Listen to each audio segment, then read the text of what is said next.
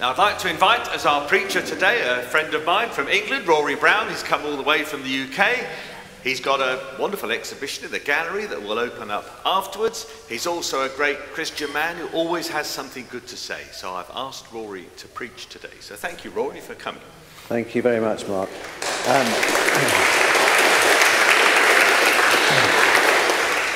um, thank you. Uh, met many of you over the last couple of days, you've been so welcoming. The La Jolla St James community is a lovely, warm community. Uh, my wife and I have felt very welcome, so thank you very much. And I hope to meet a few more of you after the service um, and over the next few days. Um, so, lovely passage that we got from Corinthians, which I think challenges us to see things in a different way. And uh, one of the things that I, as an artist and as a Christian, am always challenged to do is to see things a little bit more in the context of God's light. Uh, and I paint a lot of light. Um, so there's a lovely phrase, beauty is in the eye of the beholder. I was recently doing a presentation, a demonstration to 300 young uh, people aged 5 to 11 years old to a primary school in the UK. And I was describing my technique and painting a painting in front of them.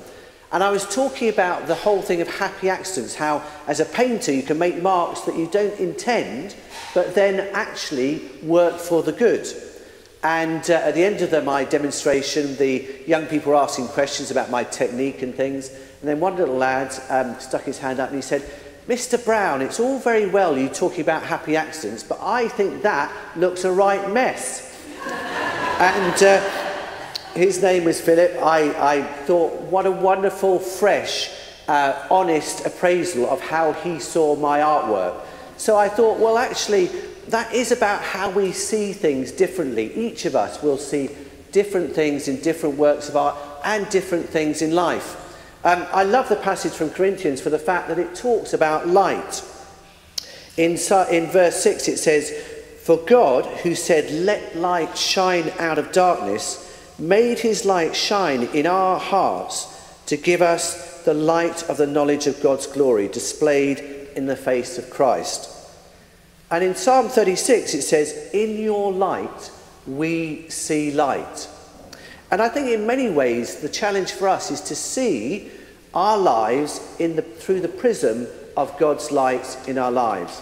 Um, it's not always easy to paint light. Um, and forgive me, be, being an artist and also being offered the chance to talk to you this morning, I thought I'd have three paintings that would illuminate three points from the passage in, in Corinthians. So forgive me if I divert into uh, artist speak for a moment. So this painting here illustrates how I came to see and be able, I hope, to paint light. And there's a little story behind it.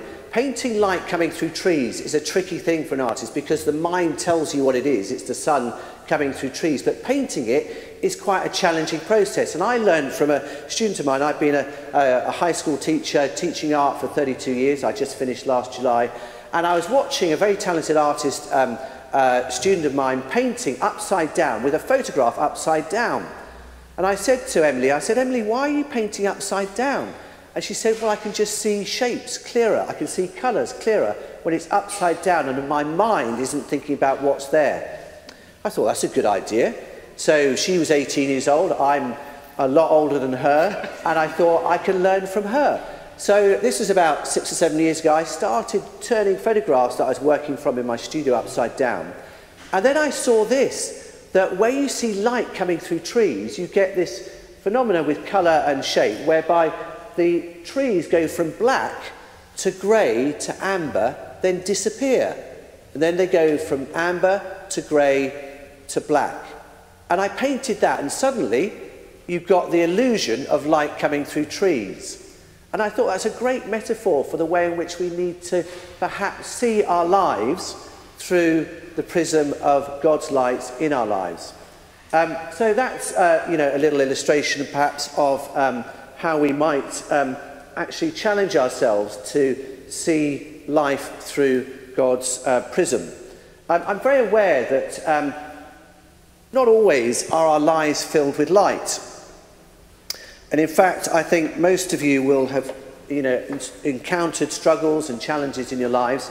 And I'm guessing that in this congregation here, people have gone through a lot of stuff. Maybe loss, grief, maybe mental health issues, anxiety, finances, broken relationships. Life is a challenge, and my wife and I know that as much as anybody here. We've had challenges, you know, with various people, losses recently, and, you know, life is not always filled with light. Um, this painting here is very much about that. Um, our son, who's now 30, went through a very tough time during COVID uh, and struggled from a lot of issues in terms of his anxiety and his view of life. And one of the things he used to do was get up at dawn and walk uh, our two dogs along the river near where we live in the UK. And this painting is a metaphor in a way for the struggles and the challenges that all of us probably face. Um, symbolic of this painting is the sort of dark brooding uh, foliage. Um, and then also down here, you won't be able to see it at the back, is a broken fence post, which is a, an analogy of the fact that not everything in our lives is fixed, that often they're broken and that we need help in fixing them. But what I tried to paint in this scene, and it was a photograph that my son took, uh, is the hope of the light in the distance. And that is the great thing as Christians. We can trust that God has this plan for us, that God has an intent for us, and that if we try to see our lives through the prism of His light, then we're on surer footing than we might otherwise be. I love the fact that in the Corinthians passage, a part of which was read this morning, it's very clear that God understands what we go through. In verse 8, it says this We are hard pressed on every side, but not crushed, perplexed, but not in despair, persecuted, but not abandoned, struck down, but not destroyed. And then in verse 17, it says, For our light and momentary troubles are achieving for us an eternal glory that far outweighs them all. I just think that we probably this morning, wherever we're at, whether we're thriving or struggling, need to know that God is very deeply invested in where we're at and He wants us to see our lives through the prism of His light. Somebody, when I first became a Christian, um, told me that you know, we should see everything in the context of eternity. And he described it as this that if eternity is the moon, our lives on this planet, the 80 or 90 years that we have, hopefully, are the size of a thumb compared to the distance from us to the moon. So our lives are tiny in comparison to the eternity that God promises. In verse, you know, um, there's a verse 17, you know, or, sorry, it's verse 18. So, so we fix our eyes not on what is seen, but on what is unseen. Since what is seen is temporary, but what is unseen is eternal. I think it's encouraging for us to see our lives in the perspective of God's light, but also in the perspective of eternity. I just want to um, conclude by just sharing another little painting that I hope illustrates something um, of where God wants us to place our trust and hope. And um, those, those two scenes were of uh, the UK. This one is of your very own dear La Jolla shores. And um, I'll leave these up at the front so you can have a look at these later and the gallery will be open. But this one is very much about the hope of light in the distance. And I love the colours, the abstract colours. I mean, you know, the sunsets you get here are surely God's canvas. And how amazing that you've got this colour, this saturation, these abstract shapes and forms. If anything speaks of the reality of God, it's your sunsets out there, you know, not maybe in the June gloom, but in the, you know, in the fall, uh, you know, clarity. Now, within this painting, you've got the light in the distance, but what you won't be able to see, even at the front, is that in the shadows here are a set of footprints. Now, most of you will know the allegorical poem of Footprints in the Sand, where uh, a man is, is, you know, he is with the Lord, he's passed away, and he's looking back on his life, and forgive me if I reappraise it very briefly, and you know, he's looking back over the uh, items and the issues and the journey through life. And um, in the tough times, he sees one set of footprints, not two. So he says to the Lord, Where were you in those tough times? Where were you when I went through those moments of grief and loss and anxiety and issues? And Jesus says, My son, that's when I carried you. That's my set of footprints. And I think I want to finish, you know, in a moment, just to say that wherever you're at, whether you're thriving or struggling, God knows, God cares, and He wants to be with you as you go through that journey. How do we see, you know, God's uh, light in our lives and life through the prism of God? It's very simple.